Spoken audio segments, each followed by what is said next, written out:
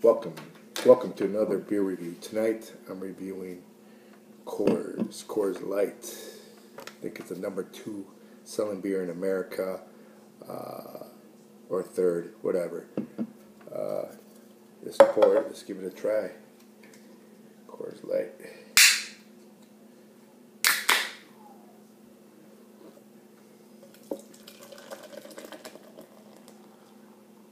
Right down the middle. That's why I pour. Doesn't matter. It'll come back up. It doesn't matter. Get all the taste out of it. You don't have to pour like a on the side like a little girl. All this will come up. It's a yellow, lighter, a lot of carbonation.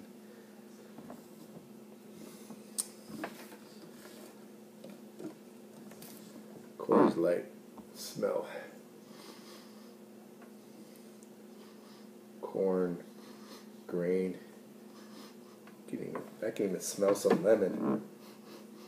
But Coors Light. Had this quite a few times. Let me taste it.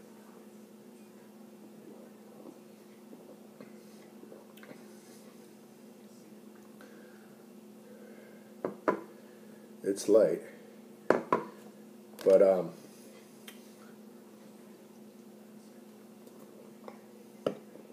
there's that small, small grainy taste to it. Um, you could taste the grain, and you could taste some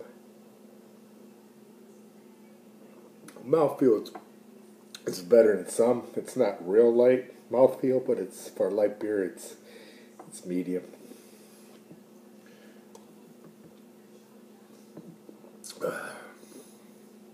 It's refreshing, crisp, clean, and refreshing. That's one thing. Um, it tastes a little more.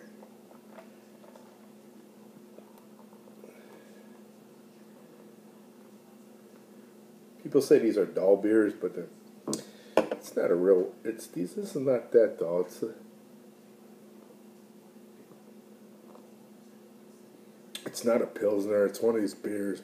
Light beers are good for is eating food and just sessionable. You can drink it all day long. You won't get drunk or you won't get filled. High carbonation to it. It's kind of sweet, like it's not sweeter than Miller Lite or uh, Bud Light, but again, this, these beers are not for the taste. It's for eating some food. Again, most people do like light beers. But the top five beers is what Bud Light, Budweiser, Coors Light, Miller Lite, Natural Light. So those are all light beers. So most people like light beers. So I'll rate this. What did, what did Beer Advocate rate it? Fifty. It's not a fifty. It's awful. They said. It's watery kind of, but you know what? I had worse. I had worse light beers than this. I would take this over Keystone Light, Busch Light, or Natural Light. I, I reviewed those, but but I would uh, take Miller Lite, better beer flavor, and Bud Light because they have better beer flavor.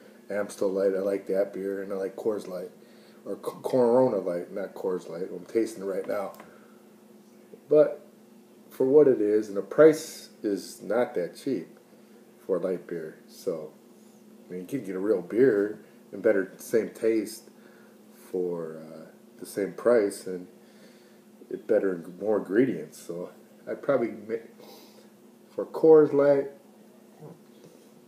for what it is, I give it a C. Probably would have given it a C plus if they would. Um, if the price wasn't the same as uh, Coors or Budweiser or PBR, which I'll take that before this because it has more taste. I'm not on a diet. If you're on a diet, then don't drink beer. But 50, uh, 52 or 40, that's terrible.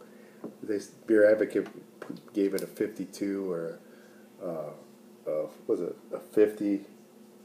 It's not an awful beer. It's it's not bad. It's an average light beer. If you tried it, try it out. Coors Light. You probably have tried it. Yeah, I'll, I'll take this over uh, Busch Light, but it's a little more money. Busch Light, Natural Light, but I like Miller a little better than this. It, it does the job. Um, subscribe if you want to for more videos. I'll see you later. Thank you for watching. Bye.